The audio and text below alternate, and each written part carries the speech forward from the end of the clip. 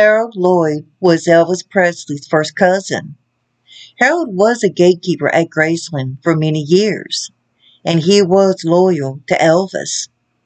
And he reveals a secret about Gladys that you may not know about.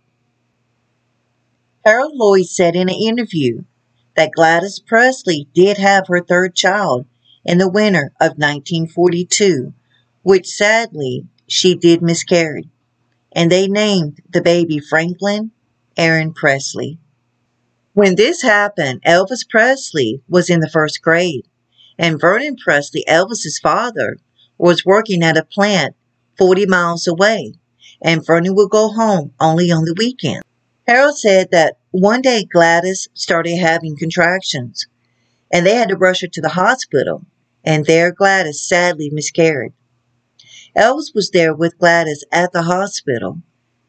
Harold said that everyone was so worried about Gladys because when she had Elvis and Jesse, Gladys almost died. And Jesse, Elvis's twin, was a stillborn.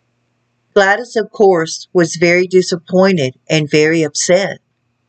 But she knew that she would not be able to carry another baby. So Elvis was everything to Gladys.